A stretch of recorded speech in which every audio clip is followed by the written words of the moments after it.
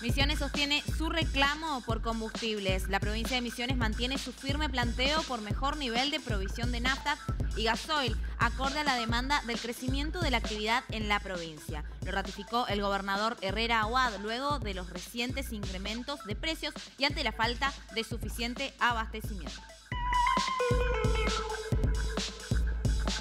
Y hoy también te contamos sobre las inversiones que llegan a la industria de la madera porque el sector forestal misionero recibe otra millonaria inversión. Será en El Dorado donde comenzará la construcción de una planta de tableros de pino.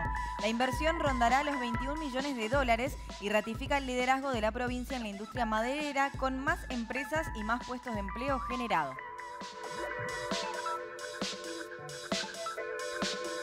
Escuela de Negocios, Turismo y Gastronomía.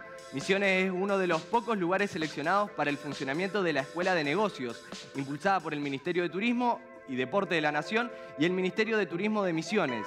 Se formará a mandos gerenciales de empresas del sector y permitirá potenciar la gestión de los establecimientos.